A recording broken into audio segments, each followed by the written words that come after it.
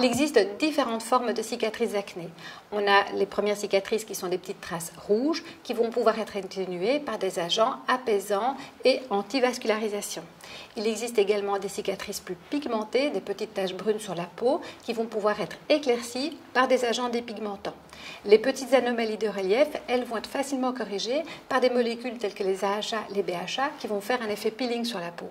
Évidemment, les cicatrices plus importantes, telles que les atrophies, les hypertrophies ou les cicatrices en pic à glace, vont bénéficier d'une consultation chez le dermatologue qui pourra vous aider avec des traitements comme des lasers ou des radiofréquences par exemple.